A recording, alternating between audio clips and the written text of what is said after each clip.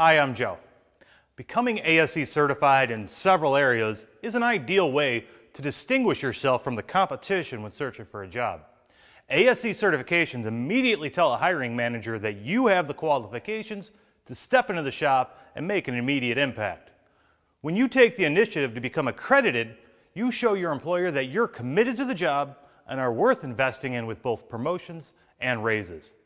Let's help you get closer to that certification with this ASE practice test question. When changing the engine oil filter, the technician should A. Install the filter with pliers. B.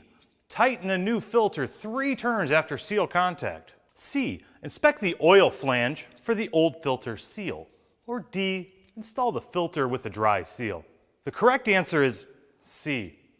Tech should always inspect the oil flange to ensure that the old gasket is not still stuck to it.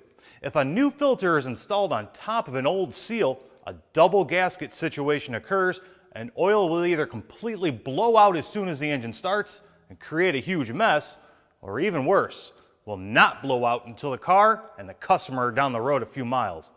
That's a situation a tech never wants to be involved in. Good luck on that test. Thanks for watching.